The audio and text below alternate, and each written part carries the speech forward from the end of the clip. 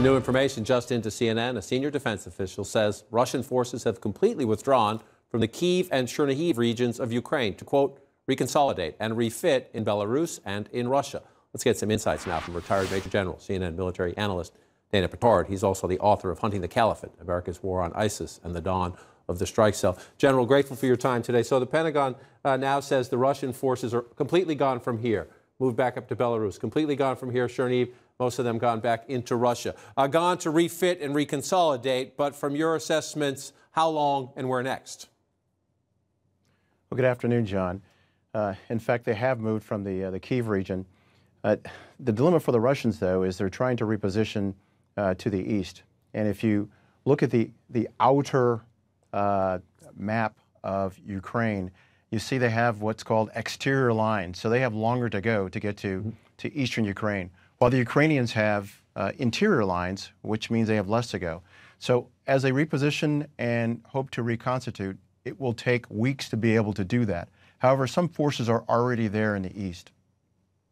Right, there are forces here in the east, and you see uh, more shelling in Kharkiv here, uh, more shelling in Mykolaiv down here. Now, they're separate, but if you connect them with a loop right here, this is what the Pentagon believes, and then ultimately onto Odessa, and the Ukrainians believe as well that at least for now, uh, the Russians did not succeed in their effort to take Kiev, but it looks like they're trying to seize a big slice in the east. What is the strategic significance?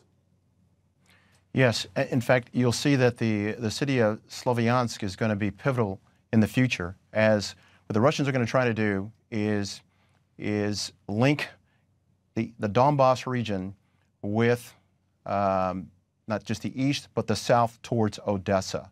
Um, and what they're going to want to do is claim that as a victory uh, in time for the 77th uh, anniversary of the end of World War II, which is May 9th, 1945.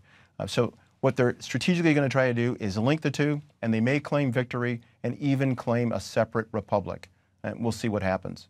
And as, that, as we watch this play out on the battlefield, NATO foreign ministers are meeting right now. There are some new sanctions today, but the Ukrainians are saying, great, any sanctions on Russia are fabulous, but we need more military hardware. We need more offensive weapons. You've been sending, they're telling the West, uh, weapons that help us defend. Uh, but if we're going to kick the Russians out of these red areas, retaking land requires a different set of weapons. What should NATO do now? Well, I believe that what NATO is doing is certainly not enough. Um, at this point, uh, the goal should not be just to end the fighting. The goal should be for Ukraine, Ukrainian forces to actually win. In order to do that, they'll need more than just tanks here, drones there, javelin missiles. Uh, they need systems. Uh, they need training. They need assistance. Uh, so there are a number of options that NATO can do at this point.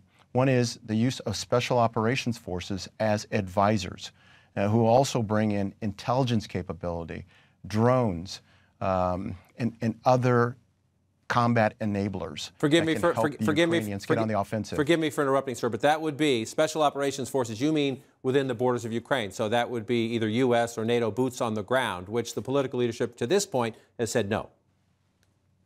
Yes, uh, the political leadership has been intimidated by by President Putin uh, on the threat of nuclear weapons. But we've already heard from Russia.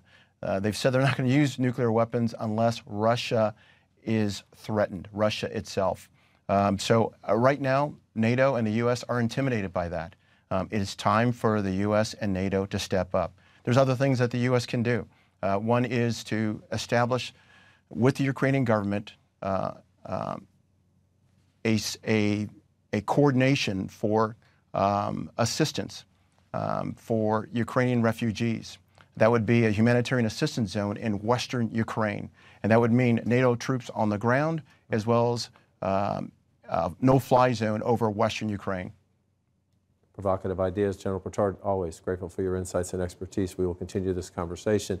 Ahead for us, though, a Justice Department crackdown on criminal Russian activity, including new charges against the Russian oligarch. Plus, we're live on the ground in Lviv. New Russian attacks there targeting fuel storage facilities.